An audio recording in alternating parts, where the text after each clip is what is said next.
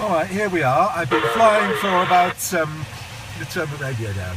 I've been flying for about four hours, and um, I've not had a single uh, conflict on the FLARM uh, from my transponder. The transponder has been set all this time to uh, on mode, not in altitude reporting mode. I now turn it to altitude reporting mode and watch what happens. Warning, traffic. Almost immediate, uh, and it doesn't know that it's me, um, but sometimes it does know that it's me. This time it doesn't. Uh, other times it says it's uniform kilo. Let's try it again.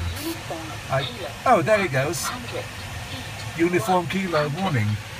So that this knows that it is me, and yet it still gives a um, collision. It says I'm about to collide with myself. Anyway, that ends the video. That's evidence of what's happening, I hope.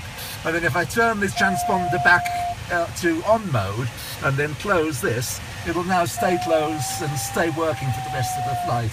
Thank you very much.